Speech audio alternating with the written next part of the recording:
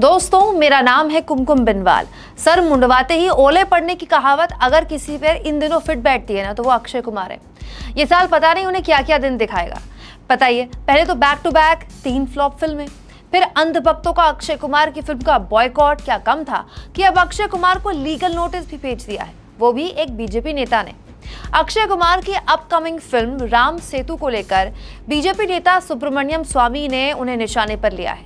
BJP नेता सुब्रमण्यम स्वामी ने अक्षय को बकायदा लीगल नोटिस भेज दिया है।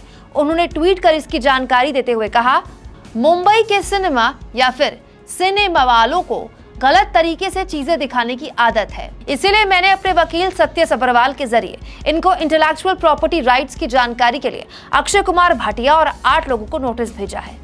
अब आप पूछेंगे कि अक्षय कुमार ने अब ऐसा क्या कर दिया कि सुब्रमण्यम स्वामी को उन्हें लीगल नोटिस भेजना पड़ा? दरअसल, स्वामी का आरोप है कि अक्षय कुमार की जो अपकमिंग फ़िल्म है राम सेतु, उसको लेकर वो गलत फैक्ट्स दर्शकों के आगे रख रहे हैं। वो राम सेतु, जिसका ज़िक्र रामायण में भी है। इससे पहले अक्षय कुमार को लेकर सुब्रमण्यम स्वामी चेता चुके हैं एक महीने पहले ही कि फ़िल्म में जो बेकर्स हैं और अक्षय कुमार हैं, दोनों पर वो केस दर्ज कराएँगे।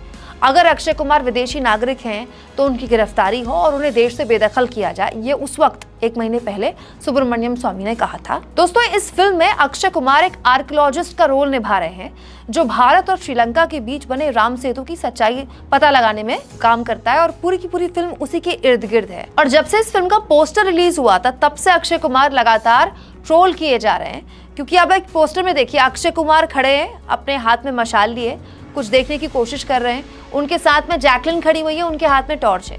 तो लोगों ने उस वक्त कहकर मज़ाक उड़ाया था कि जब मशाल हाथ में है तो टॉर्च क्या कर रहा है? और अगर जैकलिन के पास टॉर्च है तो अक्षय कुमार के हाथ में मशाल क्या कर रहा है? मतलब दोनों ही चीज़ों का एक ही काम है ना? तो दोनों चीज़ें एक साथ क्या कर रही हैं? ये तो अब तक मज़ाक की बात थी, लेकिन अब हो गया मामला सीरियस, क्योंकि मेकर्स और अक्षय कुमार को अब कानूनी नोटिस का जवाब देना होगा। फ़िल्म की रिलीज़ से पहले ही अक्षय कुमार की ये फ़िल्म जिस कानूनी पचड़े में फंसती दिख रही है, इस पर आप क्या सोचते हैं? कमेंट बॉक्स में ज़रूर लिखें। और दोस्तों, चैनल को ज्वाइन और सब्सक्राइब तो आप करते ही हैं, लेकिन हमारे फ्री जर्नलिज्म को असली सपोर्ट तब मिलता है जब आप थैंक्स के ऑप्शन का ज़्यादा से ज़्यादा इस्तेमाल करते हैं।